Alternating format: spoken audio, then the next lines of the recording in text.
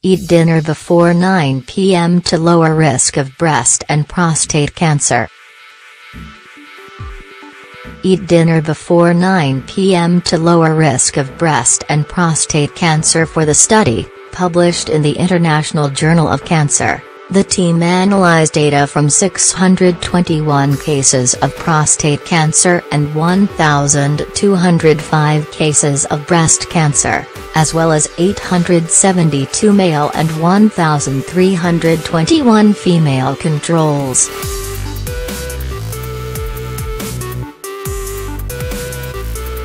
Having your last meal before 9 p.m. or at least two hours before going to bed could lower the risk of breast and prostate cancer, suggests a new study.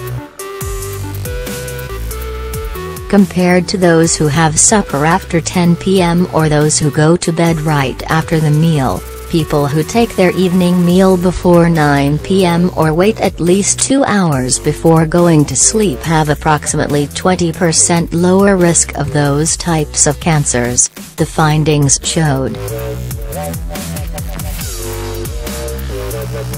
Our study concludes that adherence to diurnal eating patterns is associated with a lower risk of cancer, said lead author Manolis Kogevinas from the Barcelona Institute for Global Health, IS Global, in Spain. The findings highlight the importance of assessing circadian rhythms in studies on diet and cancer, Kogevinas added.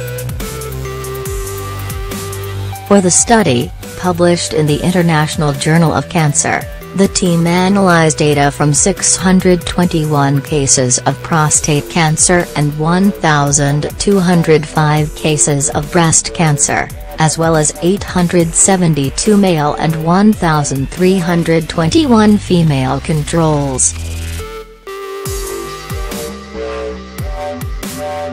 The participants were interviewed about their meal timing, sleep habits and chronotype an individual attribute correlating with the preference for morning or evening activity.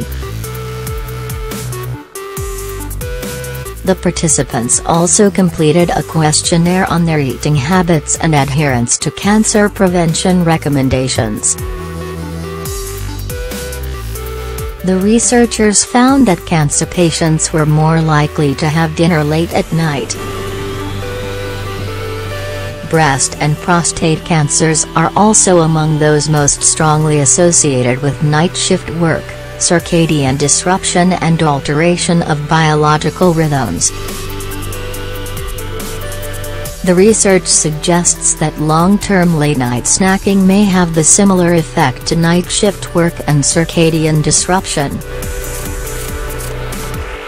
If the findings are confirmed, they will have implications for cancer prevention recommendations, which currently do not take meal timing into account, Kogevinas noted.